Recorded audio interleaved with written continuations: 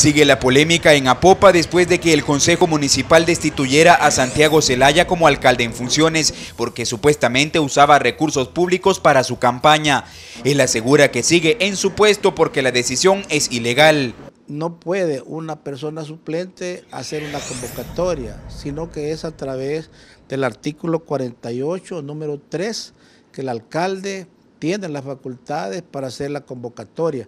Fue avalada por el síndico municipal y los demás que éramos propietarios, entonces se sabe pues que el síndico municipal tiene eh, un cargo que puede él convocarnos a reunión. Silvia Monteagudo, quien fue nombrada como nueva alcaldesa en funciones, sostiene que todo se realizó porque hay varios proyectos atrasados por culpa de Celaya. Que se dedique a su campaña con honestidad y transparencia y no que se ocupen los recursos del de la alcaldía. Pero Santiago Zelaya está dispuesto a demandar a los ocho concejales que lo destituyeron. Nosotros ya tenemos un equipo de abogados que está trabajando para justificar que esto, esta, esta reunión que hicieron es arbitraria. Mientras el tira y encoge continúa, ambos se consideran alcalde en funciones y no están dispuestos a dar su brazo a torcer.